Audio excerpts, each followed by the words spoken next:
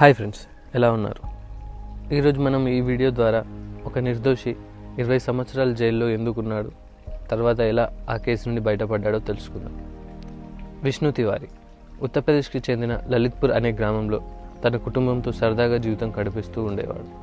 అలా ఆనందంగా తన జీవితం సాగుతున్న సమయంలో రెండు వేల సంవత్సరంలో సెప్టెంబర్ పదహారున అతన్ని ఒక రేప్ కేసులో ఎస్సీ ఎస్ట్ యాక్ట్ కింద అరెస్ట్ చేశారు. ఆ తర్వాత లలిత్పూర్ కోర్ట్ అతనికి పది సంవత్సరాల జైలు శిక్ష విధించింది. కాలం గడుస్తున్నప్పటికీ అతనికి తిరిగి మళ్ళీ కోర్టు జీవితకాలం జైలు శిక్షను విధించింది.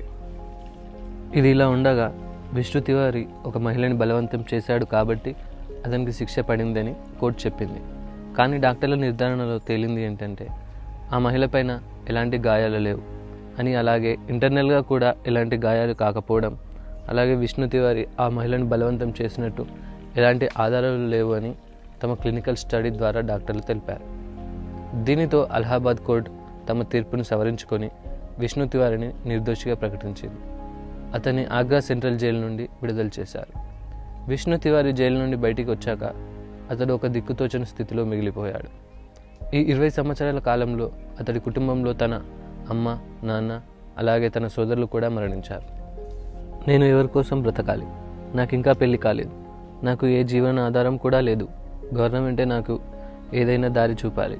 లేకపోతే నేను ఆత్మహత్యకు పాల్పడతానని మీడియా ముందు అతని బాధను వెల్లదించుకున్నాడు తాను జైలు నుండి విడుదలయ్యే సమయానికి అతని చేతిలో కేవలం ఆరు వందలు మాత్రమే ఉండటం బాధాకరం. ఇలా వెలుగులోకి వచ్చిన కేసు ఇది ఒకటే కావచ్చు. వెలుగులోకి రాని కేసుల పరిస్థితి ఏంటి? న్యాయస్థానం తమ తీర్పును వెల్లడించేటప్పుడు కాస్త ఆచితూచి నిర్ణయం తీసుకొని ఉంటే ఈరోజు ఒక కుటుంబం సంతోషంగా జీవించి ఉండేది. Thanks for watching the video Please like, share and subscribe our channel.